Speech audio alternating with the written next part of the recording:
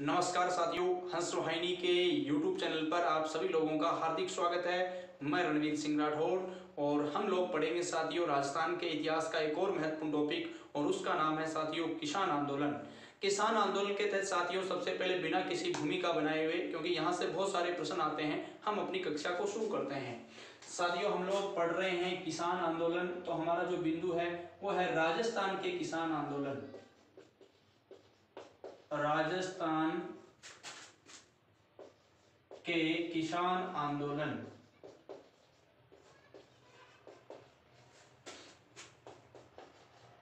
राजस्थान के किसान आंदोलनों की चर्चा जब हम करते हैं तो यहाँ पर हमें सबसे इम्पोर्टेंट बात देखने को मिलती है। यहाँ अलग अलग किसान आंदोलन होते हैं। उसमें सबसे इम्पोर्टेंट है साथियों बिजोलिया किसान आंदोलन। तो हम लोग उसी को शुरू करते हैं। बिजोलिया किसान आंदोलन। जहाँ से हर एक परीक्षाओं में प्रश्न आता ही आता है, बिजोलिया किसान आंदोलन।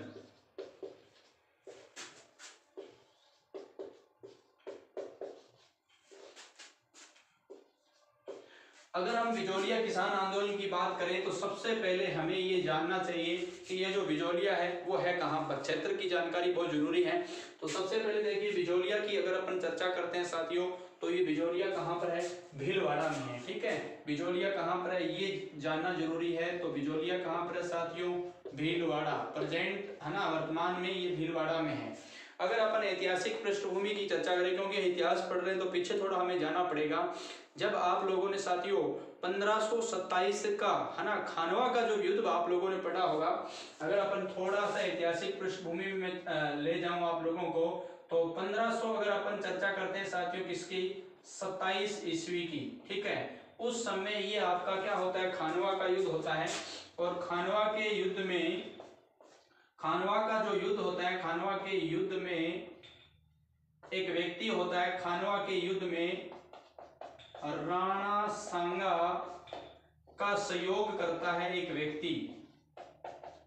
सहयोग कौन करता है? अशोक परमार।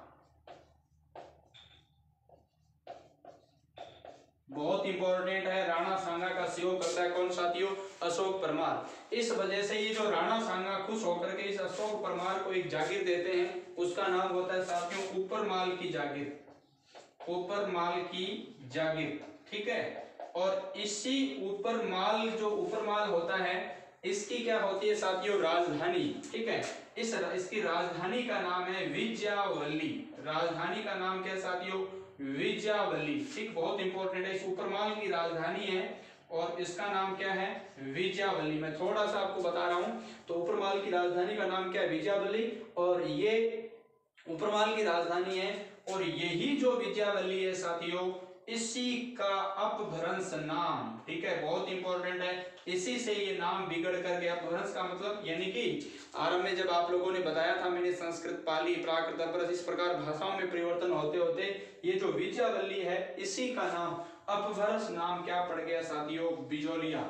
बहुत इंपॉर्टेंट है, ये है बिजोलिया। अब आपको यहाँ से कितने ही प्रश्नों के उत्तर इस श्रृंखला से मिल गए होंगे। मैं एक बार पुनः आप लोगों को देखो, बिजोलिया किसान आंदोलन हमने शुरू कर दिया है। भीलवाड़ा में प्रेजेंट टाइम में पंद्रह ईस्वी खानवा के युद्ध में राणा सांगा का सहयोग कौन करता है? अशोक परमार करता है और उपरमाल की जागीर दे दी जाती है अशोक परमाल को। इसी उपरमाल की राजधानी क्या होती है? विजावली। और विजावली का प्रस नामी क्या साथियों? बिजोलिया है। तो ये बात आप लोगों को समझ में आ चुकी होगी। लेकिन अब अपन बात कर रहे हैं बिजोलिया किसान आंदोलन की। यहाँ तक की बात आपने लिख भी ली है। तो इसी बिजोलिया जो क्षेत्र है, यहाँ पर किसान आंदोलन होता है और उसका समय क्या है और कब है, चर्चा करते हैं। बिजोलिया को आप विजयावली भी कह सकते हो।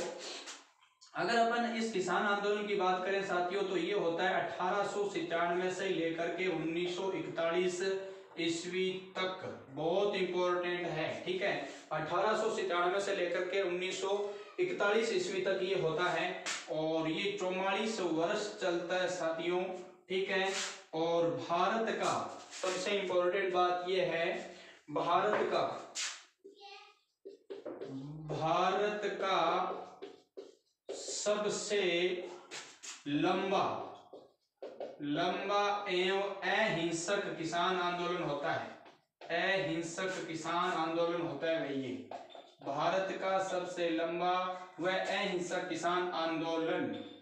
ठीक है, ये आपका कौन सा साथियों, बिजोलिया का किसान आंदोलन है। बहुत इंपॉर्टेंट है, मैंने बता दिया, अठारह से उन्नीस सौ इकतालीस होता है। चौवालीस वर्ष तक ये आंदोलन क्या करता है साथियों, चलता है, लेकिन अहिंसक आंदोलन होता है।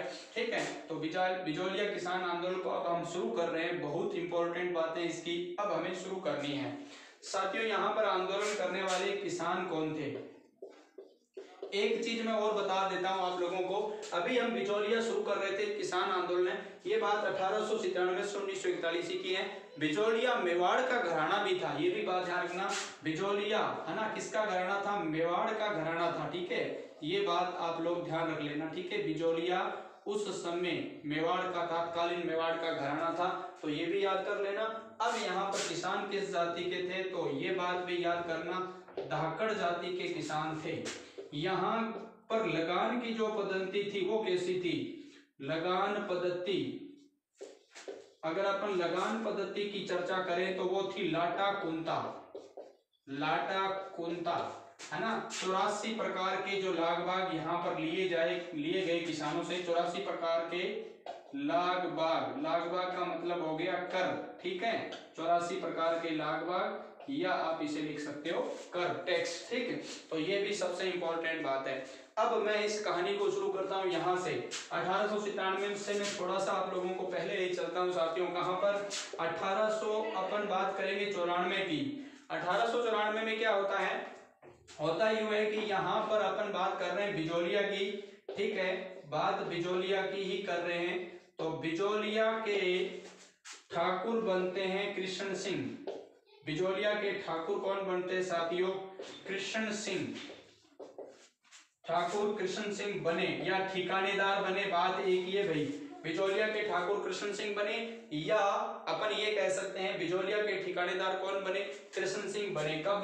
बने कब भाई? अठारह सौ चौरानवे। अभी किसान आंदोलन नहीं शुरू हुआ है। तो किसान आंदोलन शुरू होगा अब। कब? अठारह से ठीक है? अठारह से ये व्यक्ति क्या करता है? किसानों के ऊपर, है ना? ये व्यक्ति किसानों पर चौरासी प्रकार के क्या लगा देता है? चौरासी प्रकार के कर लगा देता है। क्या लगा देता है? चौरासी प्रकार के कर। एक ही लाटा कुंता ध्यान रखना, खड़ी फ़सल को अनुमान लगा करके, है ना लगान निर्धारित करना ही लाटा कुंता कहा जाता था। ठीक है कुंतना आप समझ चुके होंगे। अठारह सौ चौरासी प्रकार के क्या है साथियों? कर है। ठीक है, ये बात ध्यान रखना। अब उसके बाद अपन लोग चर्चा यहाँ से करें। जैसे ही अठारह में ये ठाकुर कृष्ण सिंह किसानों के ऊपर चौरासी प्रकार के कर लगाता है तो किसान इसका क्या करेंगे साथियों, है ना? विरोध करेंगे। विरोध तो करना ही है, ठीक है? ध्यान रखना, यहाँ पर विरोध करने वाला एक व्यक्ति है, आंदोलन का नेतृत्व करेगा, वो है साधु सीताराम दास। साधु सीताराम दास, ठीक है? बहुत इंपॉर्टेंट है। आप साधु भी यहाँ लिख लीजिएगा। साधु सीताराम दास, यानी विरोध के रूप में नेतृत्व करते हैं। इसी आंदोलन का, ठीक है? और इसी, अगर अपन चर्चा यहाँ ये करने वाली बात करें कि जैसे ही चौरासी प्रकार का लागबाग लगता है, विरोध करते हैं साधु सीताराम दास के नेतृत्व में किसान तो इसके विरोध में यहाँ पर किसान क्या होते हैं? एकत्र होते हैं। किसान एकत्र मतलब इकट्ठे होते हैं। ये कहाँ पर होंगे? तो यहाँ पर एक गाँव है जिसका नाम है गिरधारीपुरा। गिरधारीपुरा गाँव है और यहाँ इस गाँव का एक किसान है और इस किसान का नाम है साथियों गंगाराम। क्या नाम है? गंगाराम। ठीक है? इस किसान का नाम है गंगाराम और इस गंगाराम के पिता की मृत्यु भोज में इकट्ठे होते हैं। पिता की मृत्यु भोज के बहाने यहाँ पर किसान क्या हो जाते हैं? एकत्र हो जाते हैं। अब जैसे ही ये किसान यहाँ पर एकत्र होते हैं तो यहाँ पर ये एक, है ना, एक निर्णय लेते हैं। निर्णय क्या लेते हैं कि ये जो कृष्ण सिंह है ना, किसके ठाकुर है? बिजोलिया के हैं। तो इनकी मांग कहाँ पर, इनकी शिकायत कहाँ पर की जाए? यानी कि मेवाड़ में की जाए और मेवाड़ के उस समय महाराणा कौन थे? फतेह सिंह थे। तो देखिए किसान एकत्र गिरधारीपुरा गाँव में कहाँ पर एक, एक किसान है जिसका नाम क्या गंगाराम पिता की मृत्यु बहुत। उस अवसर पर यानी कि कहाँ पर? सीधी सीधी बात है गिरधारीपुरा गाँव में किसान गंगाराम के घर पर उसके पिता की मृत्यु भोज के अवसर पर किसान एकत्र होते हैं और एकत्र होकर के निर्णय ये लेते हैं कि कृष्ण सिंह की शिकायत है ना? दो व्यक्ति है सॉरी थोड़ा सा मैं लिख देता हूँ। किसान एक चीज़, है ना? किसान क्या करते हैं? दो किसानों को, दो किसानों को, दो किसान एक एक तरीके से इनके लीडर हो जाएँगे। एक का नाम है ठाकरी पटेल और एक का नाम है नानजी पटेल। नानजी और ठाकरी, ठीक है? दोनों का याद कर लेना। इन दोनों को क्या कर, किया जाता है? इन दोनों को मेवाड़ महाराणा फतेह सिंह के पास शिकायत करने के लिए भेजा जाता है। कृष्ण सिंह की शिकायत। कृष्ण सिंह की शिकायत करने के लिए भेजा जाता है कहाँ पर साथियों? मेवाड़। शिकायत मेवाड़ भेजा जाता है कृष्ण सिंह की शिकायत के लिए। शिकायत मेवाड़ और मेवाड़ में यहाँ पर कौन है? फतेह सिंह। फतेह सिंह के पास भेजा। अब यहाँ पर क्या होता है? फतेह सिंह के पास ये किसान चले जाते हैं। कौन कौन ठाकरी पटेल, नानजी पटेल, किसानों ने एकत्र होकर के उनका लीडर बनाकर एक तरीके से उन दोनों को वहाँ पर भेजा है और दोनों वहाँ जाते हैं। लेकिन फतेह सिंह कोई ध्यान नहीं देते हैं, कोई प्रतिक्रिया नहीं। प्रतिक्रिया नहीं और अंत में ये जो दोनों होते हैं, इन दोनों को दोनों को मेवाड़ से निष्कासित कर देते हैं। मेवाड़ से क्या कर देते हैं? निष्कासित कर देते हैं। ठीक है? तो ये मतलब ये यहाँ तक की कहानी आपको समझ में आ चुकेगी। मैं एक मिनट में रिवाइज करता हूँ इस चीज़ को। बहुत इंपॉर्टेंट है। बहुत सारे प्रश्न यहाँ से बनते हैं। देखिए, हमने यहाँ से शुरू की थी बात कि अठारह सौ चौरानवे में बिजोलिया के ठाकुर कृष्ण सिंह बनते हैं। कृष्ण सिंह बनने के बाद अठारह में चौरासी प्रकार के कर लगा देते हैं। इन करों के विरोध में, यानी यहाँ किसानों का जो मतलब विरोध करेंगे किसान तो नेतृत्व करने वाला साधु सीताराम दास होता है और किसान एकत्र हो जाते हैं कहाँ पर? गिरधारीपुरा गाँव में। किसान गंगाराम, है ना? मतलब गिरधारीपुरा गाँव में जो किसान है एक जिनका नाम गंगाराम है, उसके पिता का मृत्युभोज होता है, उस अवसर पर एकत्र होते हैं। दो किसानों को ठाकरी पटेल, नानजी पटेल। ट्रिक याद कर लेना एक यानी किसानों ने क्या किया? थाना। किसानों ने क्या किया भाई? ठाना क्या ठाना कि। कृष्ण सिंह की शिकायत कहाँ पर पहुंचानी है? फतेह सिंह को पास, ठीक है? शिकायत मेवाड़ के फतेह सिंह के पास भेजनी है, ठीक है? और इन्होंने भेजी भी, लेकिन फतेह सिंह ने ध्यान नहीं दिया, प्रतिक्रिया नहीं दी, दोनों को मेवाड़ से निष्कासित कर दिया उल्टा किसको? इनको, ठाना को। तो ठा से हो गया ठाकरे पटेल ना से हो गया नानजी पटेल, ठीक है? ये ट्रिक थोड़ा सा याद कर लेना। तो ये बात अठारह तक यहाँ की कहानी। अब देखिए साथियों, आगे चलते हैं। अगले प्रश्न की ओर, ठीक है? मतलब अगले बिंदु की ओर। यहाँ तक आपको समझ में भी आ चुका है और आपने लिख भी लिया है। ध्यान रखिए, यहाँ पर जो किसान थे, वो धाकड़ जाति के थे और ये आंदोलन कब शुरू हुआ? अठारह में शुरू हुआ। चौरासी प्रकार के लाग बाग के ही साथ शुरू हो गया। लेकिन अभी ये आंदोलन काफ़ी बड़ा है, चौवालीस वर्ष का है। तो कुछ और अपन बातें इसकी भी ले लेते हैं। देखिए अपन अभी तक जो अपने पहुँचे हैं अठारह की कहानी की है। अब क्या होता है? 1903 की बात होती है। बात कब की है? 1903 की है। 1903 में ठाकुर यहाँ पर वही है जिसका नाम क्या है साथियों? कृष्ण सिंह। नाम क्या है? कृष्ण सिंह। और कृष्ण सिंह के द्वारा एक और कर थोप दिया जाता है जिसका नाम है चौरी कर क्या नाम है साथियों? चौरी कर और ये पाँच रुपए से लेकर पंद्रह रुपए लिया, तक लिया गया, लेकिन यहाँ पर पाँच रुपए लिया गया था। तो ये ध्यान रखना 1903 की बात है, कृष्ण सिंह चौरी कर लगा देते हैं, पाँच रुपए चौरी कर इसके ऊपर भाई किसानों के ऊपर पाँच रुपए चौरी कर लगा देते हैं। इस कारण यहाँ पर भी किसान इसका क्या करेंगे भाई? विरोध करेंगे। किसान भी क्या करेंगे? विरोध करेंगे किसका चौरी कर का, ठीक है? तो एक इंपॉर्टेंट बात, किसान इसके विरोध में क्या करते हैं? अपने अगले, है ना, आने वाले दो वर्षों तक अपनी किसी भी कन्या का क्या नहीं करते साथियों ना, विवाह नहीं करते, ठीक है? बहुत इंपॉर्टेंट है। तो ले लीजिए, चौरी कर, पाँच रुपए लगाते हैं, किसान विरोध करते हैं, और दो वर्ष तक अपनी पुत्रियों का विवाह नहीं करते। अपनी पुत्रियाँ अविवाहित रख लेते हैं। अविवाहित रखी। ठीक है? तो ध्यान रखना, विरोध दो वर्ष तक अपनी पुत्रियाँ अविवाहित रखी किसने? किसानों ने। इसके विरोध में कि कृष्ण सिंह चौरी कर लगा देता है, इस कारण पाँच रुपए दिए जाते थे। तो देखिए, अब यहाँ पर क्या होता है? 1903 तक तो ये बात होती है। अब यहाँ पर किसान क्या है? पूरी तरह से परेशान भी है। और ये बात होती है साथियों 1905 की। कब की बात होती है? 1905 की। यहाँ पर भी किसान क्या करते हैं? नाराज़ तो पहले से हैं। 200 अविवाहित अविवाहित पुत्रियों को लेकर।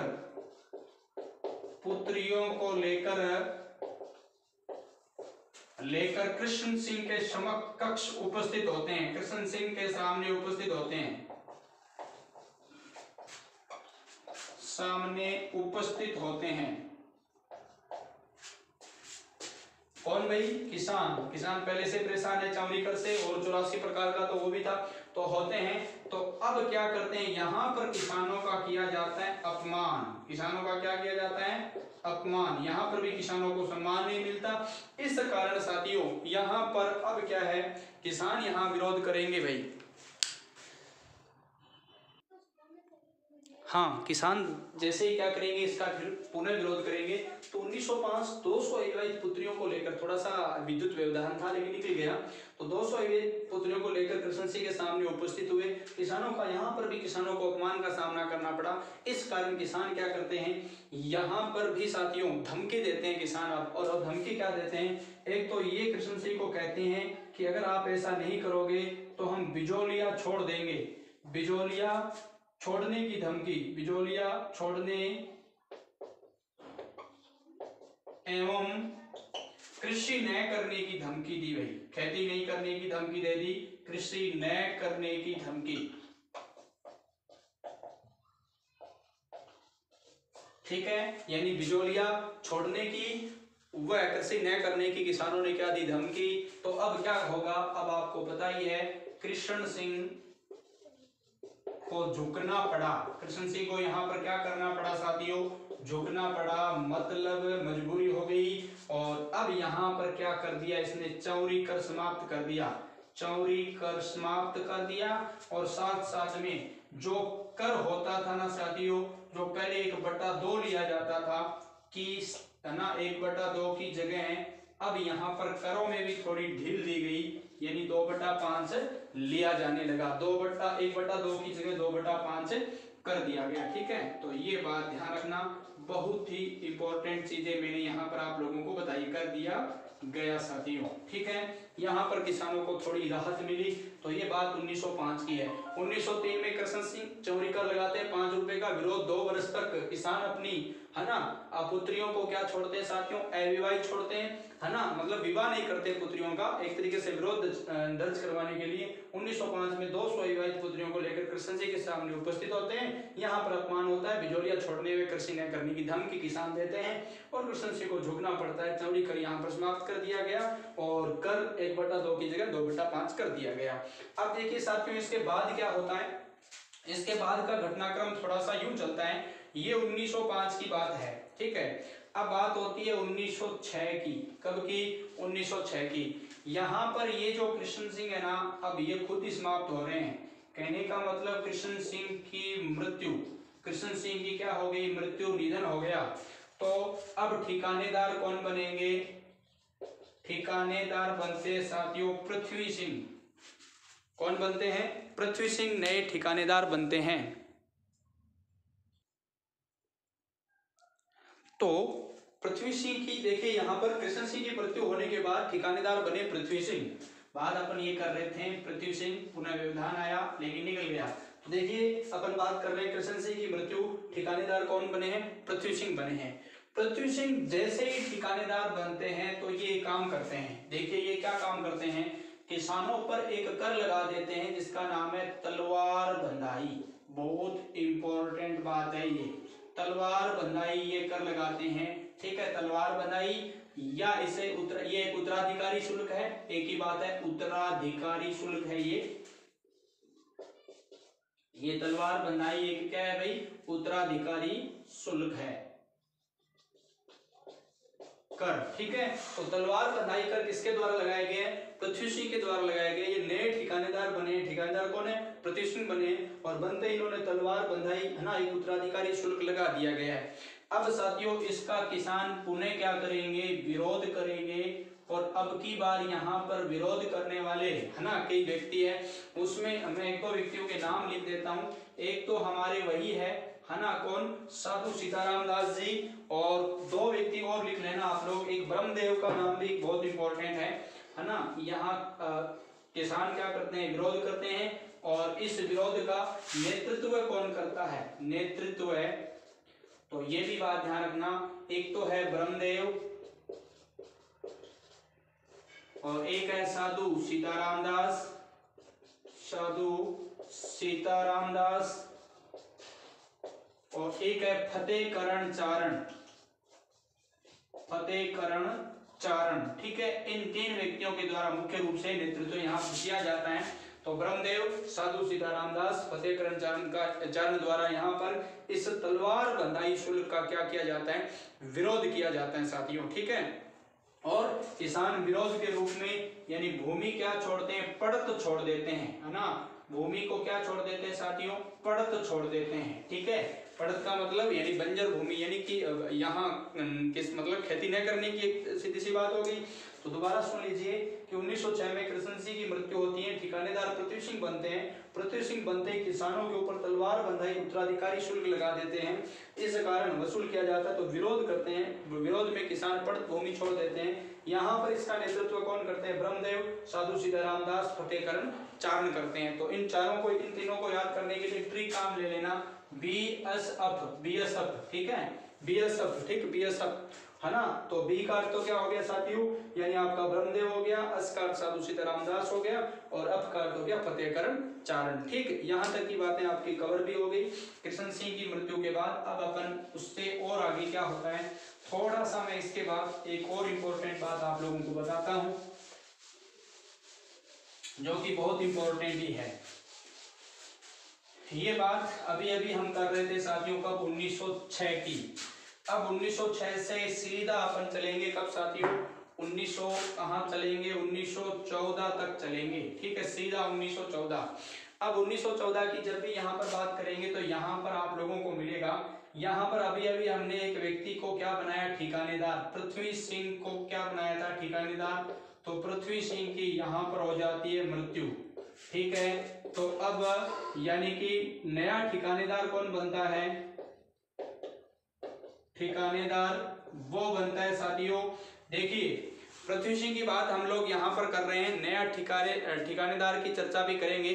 अभी हमने दो ठिकानेदारों को ठिकाने लगा दिया है, ठीक है? तो अब एक और ठिकानेदार की चर्चा करते हैं। लेकिन अब की बार वाला ठिकानेदार नाबालिग की है, जिसका नाम है साथियों केसरी सिंह, ठीक है? तो ये ठिकानेदार है जिसका नाम है केसरी सिंह। और ये क्या है साथियों? नाबालिग है। मतलब एक तरीके से ये बालक है। ठीक है? अब इस कारण अलग आयु है इसकी, ठीक है?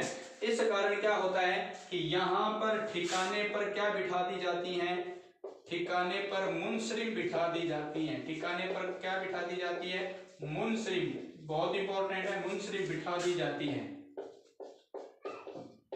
बिठा दी जाती हैं। अब यहाँ पर एक इंपॉर्टेंट बात यह है मुनसरिम क्या होता है तो थोड़ा सा ध्यान रख लेना एक प्रश्न मतलब सीधा प्रशासन, जैसे उसी प्रकार की कोई राज्य सरकार फेल हो जाती है तो वहाँ पर सीधा केंद्र, है ना, केंद्र का शासन हो जाता है, राष्ट्रपति शासन लग जाता है तो उसी प्रकार यहाँ पर देखिए तो पृथ्वी सिंह की मृत्यु ठिकानेदार केसरी सिंह नाबालिग है, और ठिकाने पर मुनसरिम बिठा दी जाती है तो मुनसरिम एक प्रशासक शब्द के लिए भी काम दिया जाता है तो इस मुनसरिम के तहत यहाँ पर मुनसरिम एक पद का नाम भी था, मुनसरिम। अगर अपन चर्चा करें साथियों मुनसरिम की तो यहाँ पर सबसे पहले अपन एक शब्द भी चर्चा करते हैं, मुनसरिम। यहाँ पर मुनसरिम कौन है? ठीक है? तो अमर सिंह राणावत। अमर सिंह राणावत, ये मुनसरिम है। और यहाँ एक और पद है, नायब। तो ये नायब कौन है? डूंगर सिंह। बहुत इंपॉर्टेंट है साथियों, ठीक है? नायक कौन है? डूंगर सिंह है, ठीक है? अमर सिंह राणावत यहाँ पर क्या है साथियों? मुंसरी में और नायक कौन बन गए हैं? डूंगर सिंह बन गए यहाँ 1914 की कहानी मैंने आप लोगों को बताई है। अब हम 1914 से थोड़ा सा और आगे बढ़ते हैं। 1916 की ओर चर्चा करते हैं साथियों, जो कि बहुत इंपॉर्टेंट है, ठीक है? ये लीजिए 1916 यहाँ पर क्या होता है? एक व्यक्ति जो यहाँ का प्रमुख लीडर है, जिसका नाम है फतेह करण साथियों, चारण। किसकी बात कर रहे हैं हम लोग? फतेह करण चारण की कर रहे हैं। और एक ब्रह्मदत्त भी है, और एक व्यक्ति पीछे से भी यहाँ का नेतृत्व कर रहा है, जिसका नाम क्या है? साधु सीताराम दास, ठीक है? तो मैं इसी साधु सीताराम दास की बात कर रहा हूँ, जो सबसे महत्वपूर्ण है, साधु सीताराम दास। साधु सीताराम दास ये क्या करते हैं? किसान पंच बोर्ड की स्थापना करते हैं। किसान पंच बोर्ड की स्थापना। किसान पंच बोर्ड की स्थापना। किसान पंच बोर्ड की स्थापना की जाती है और साथ साथ में इससे सबसे इंपॉर्टेंट काम क्या किया जाता है? वो देखिए, साधु सीताराम दास द्वारा भी एक व्यक्ति को इस आंदोलन में क्या किया जाता है? आमंत्रित किया जाता है और वो व्यक्ति कौन है? आमंत्रित किया जाता है। वो व्यक्ति कौन है साथियों? बहुत इंपॉर्टेंट है, ठीक है? ये यहाँ सबसे इंपॉर्टेंट प्रश्न है और वो विजय सिंह पथिक को, किसको? विजय सिंह पथिक को। विजय सिंह पथिक को यहाँ पर क्या किया गया साथियों? आमंत्रित किया गया है। जैसे ही विजय सिंह पथिक का नाम आ जाएगा तो इस इनका इनका जो मूल नाम था साथियों, भूप सिंह था, इनको तो अलग से ही करवाना बहुत ज़रूरी है। तो ये है भूप सिंह, विजय सिंह पथिक, ठीक है? जो कि बिजोलिया आंदोलन से जुड़ते हैं। कब साथियों? 1916 में जुड़ते हैं। साधु सीताराम दास के आह्वान पर, इनके बुलाने पर। आमंत्रित है ना ये करते हैं, बुलाते हैं इन्हें। तो विजय सिंह पथिक, जो कि भूप सिंह है, ये यहाँ पर जुड़ जाते हैं। कब साथियों? 1916 में। 1917 की अपन बात करेंगे, किसान उपरमाल पंच बोर्ड की स्थापना यहाँ पर होती है। अपन चर्चा अगली कक्षा में करने वाले हैं। तो 1916 तक ध्यान रखना, साधु सीताराम दास किसान पंच बोर्ड की स्थापना करते हैं और आमंत्रित है ना किया जाता है किसको? विजय सिंह पति को। भूप सिंह है ना इनका मूल नाम है भूप सिंह, ठीक है? बुलंद शहर के ये रहने वाले हैं। बुलंद शहर बुलंद शहर के रहने वाले हैं और सबसे इंपॉर्टेंट बात बुलंद शहर का है, यूपी में है। और सबसे इंपॉर्टेंट बात है साथियों, यही विजय सिंह पथिक है, राजस्थान में किसान आंदोलन के जनक। किसान आंदोलन के जनक। आंदोलन के जनक अगर आपसे कोई कहे तो आपका यही उत्तर आएगा विजय सिंह पथिक को राजस्थान में किसान आंदोलन का क्या कहा जाता है? जनक फटाफट रिवाइज कर लीजिए। 1914 प्रत्युषी की मृत्यु, ठिकानेदार केसरी सिंह, नाबालिग, ठिकाने पर मुंसरिम बिठा दी गई है। मुंसरिम कौन है यहाँ पर? अमर सिंह राणावत है, प्रशासक। नायब कौन है? डूंगर सिंह भाटी है। और इधर 1916 में साधु सीताराम दास की चर्चा करते हैं। किसान पंच बोर्ड की स्थापना करते हैं। किसान पंच बोर्ड की स्थापना की किसके द्वारा? साधु सीताराम दास के द्वारा। और आमंत्रित किसको किया गया? विजय सिंह पथिक को यहाँ पर बुला लिया गया। बहुत इंपॉर्टेंट प्रश्न आप विजय सिंह पथिक इस आंदोलन से जुड़ गए हैं? हम अगली कक्षा में चर्चा इसकी और करेंगे। थोड़ी सी और बची है, उसके साथ अगले किसान आंदोलन को भी ले लेंगे, है ना? बेंगू इत्यादि। और यह है साथियों, राजस्थान में किसान आंदोलन के जनक बुलंदशहर, यूपी के। मूल नाम भूप सिंह है, विजय सिंह पथिक है बहुत अपने आप में इंपॉर्टेंट नाम है साथियों। तो ये थी आज की कक्षा। आपको कैसी लगी? कमेंट बॉक्स में ज़रूर लिखना साथियों। जय हिंद, जय भारत, वंदे मातरम, जय हिंद की सेना।